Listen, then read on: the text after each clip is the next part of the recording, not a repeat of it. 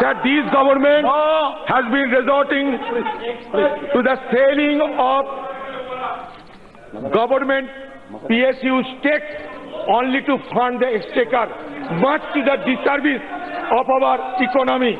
Sir, just for example, I am referring Manisha the case of HPCL. Sir, HP, sir, sir, HPCL. HP, do you know, sir, what is HPCL? Uh, our, the importance of HPCL has been derogated by this government.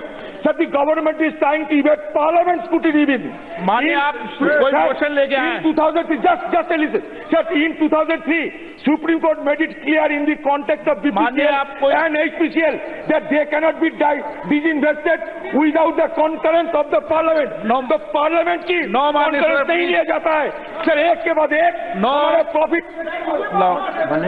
One line